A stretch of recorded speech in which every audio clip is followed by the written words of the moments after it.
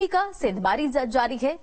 BJP आगामी लोकसभा चुनाव, यानी 2024 लोकसभा चुनाव को लेकर लगातार एक्टिव मोड में है। मिशन 2024 को सियासी दिग्गजों के बीच बार पलटवार का भी दौर जारी है। गोंडा में बीजेपी सांसद ब्रिजभूषण सिंह एक बार फिर विरोधियों पर बरसे।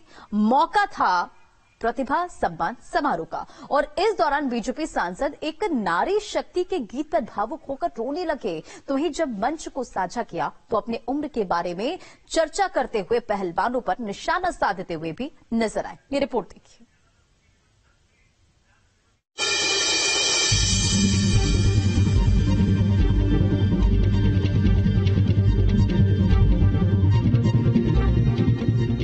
गोंडा में आयोजित प्रतिभा सम्मान समारोह में अलग ही नज़ारा देखने को मिला। जहाँ बीजेपी सांसद और भारतीय कुश्ती संघ के पूर्व अध्यक्ष ब्रजभूषण शरण सिंह भावुक नज़र आए। दरअसल मंच पर मौजूद एक महंत की गीत पर ब्रजभूषण सिंह रोने लगे। ब्रजभूषण को रोता देख उनका नाती आकर उनके पास बैठ गया, जो अपने दादा को दिलासा देते नज़र आया। उधर कार्यक्रम के दौरान ब्रजभूषण सिंह का एक बार फिर से आक्रामक अंदाज नज़र आया। ब्रजभूषण ने गिन गिन कर विरोधियों पर निशाना साधा। कांग्रेस से लेकर एसपी टीएमसी सहित कई विपक्षी पार्टियाँ उनके निशाने पर रहीं। विपक्षी पार्टियों की एकजुटता पर तंज कसते हुए ब्रजभूषण सिंह ने कहा कि गठबंधन का मुख्य नेता कौन है ये किसी को नहीं पता। ये जो गठबंधन का नाम हम सुन रहे हैं इंडिया। अरे हम भी जानते हैं यार। इंडिया इंडिया मुजाहिदीन को भी जानते हैं इंडिया को भी जानते हैं। तो ऐसे गठबंधन पहले भी हो चुके हैं। फ़र्क इतना है कि पहले कांग्रेस के खिलाफ होता है, आज बीजेपी के खिलाफ। लेकिन ऐसे गठबंधन जब भी बने हैं, सतहत्तर में क्या हुआ? दो साल तक सरकार चली। दो प्रधानमंत्री बने। अब ये जो इंडिया का गठबंधन हुआ है, इसमें 26 दल है। तो मान लीजिए इसमें चार प्रधानमंत्री बन सकते हैं दो साल के अंदर चार बन सकते हैं। ऐसा दिखाई पड़ रहा है दो साल के अंदर चार। आखिर इनको कंट्रोल कौन करेगा? नेता इनका कौन होगा? सबके अलग अलग इशू हैं। वहीं राहुल गांधी पर हमला बोलते हुए कुश्ती संघ के पूर्व अध्यक्ष ने कहा कि राहुल गांधी अपनी पार्टी को मज़बूत करने की जगह आज क्षेत्रीय दलों के साथ दोस्ती में लगे एक समय होता था जब इस देश के अंदर कांग्रेस के खिलाफ लोग इकट्ठा होते थे और क्षेत्रीय दलों को इकट्ठा करते थे।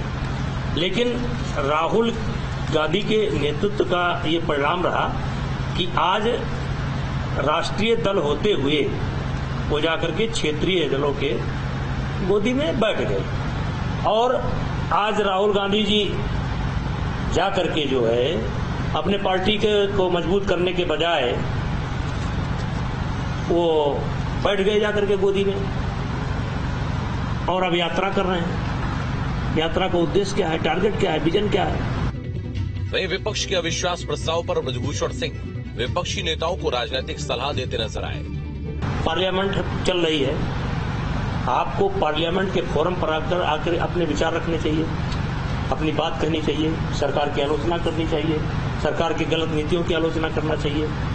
पहले आप आपके लिए पार्लियामेंट बनी है। अच्छा जैसे हमारे जैसे नेता हैं, जैसे हम लोग हैं, हम तो चाहेंगे तो हमको समय भी नहीं मिलेगा, पाँच मिनट, दस मिनट, बहुत आग्रह करेंगे पार्टी में तो पाँच मिनट मिल जाएगा, दस मिनट मिल जाएगा। वो अपने दल के नेता हैं, उनको आग्रह भी नहीं करना, हर विषय पर बोलना है। उनको समय मिलेगा। छोटे छोटे दल के नेताओं को समय मिलता है। तो राहुल गांधी जी को सबसे पहले पार्लियामेंट के फोरम पर आकर के अपनी बात, अपने विजन, अपना उद्देश्य स्पष्ट करके तब जाता विश्वास प्रस्ताव में ऐसे धोए धोए जाएँगे सुनिएगा मोदी जी का भाषण। सुनिएगा मोदी जी को भाषण। मैं राहुल जी को सलाह दूँगा कि वो भी कम से कम तैयारी करके एक बार अपनी बात रखें। इसके साथ ही ब्रजभूषण सिंह, अखिलेश नीतीश के साथ कई और नेताओं पर भी हमलावर नज़र आए। क्षेत्रीय दलों की भूमिका है, लेकिन हर प्रांतों के अपने अलग अलग इशू हैं। और विपक्ष में कोई लीडर ऐसा मुझे नहीं दिखाई पड़ रहा है, जो इनको विचारों के आधार पर एकता के सूत्र में बाँध सके। मुझे नहीं दिखाई पड़ रहा, क्या ममता बाँध पाएँगी? क्या ममता भर्ती आज अगर ममता बाँध सकती है तो चलिए हो गया भला। आज पंचायत के चुनाव में क्या हो रहा है? क्या सुप्रीम कोर्ट तक टिप्पणी कर रहा है? हाई कोर्ट तक टिप्पणी कर रहा है?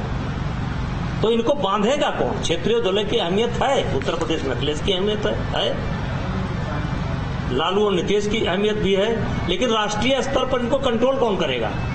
क्योंकि विचारधारा तो अलग अलग है। तो ये देश के लिए बहुत खतरनाक होगा। दरअसल ब्रजभूषण शरण सिंह पर महिला पहलवानों ने यौन शोषण के आरोप लगाए थे। इस साल जनवरी में पहलवानों ने ब्रजभूषण शरण सिंह के खिलाफ मोर्चा खोला था। उनके खिलाफ पहलवानों ने जंतर मंतर पर धरना प्रदर्शन भी शुरू किया था। फ़िलहाल वह बेल पर है। Team News State.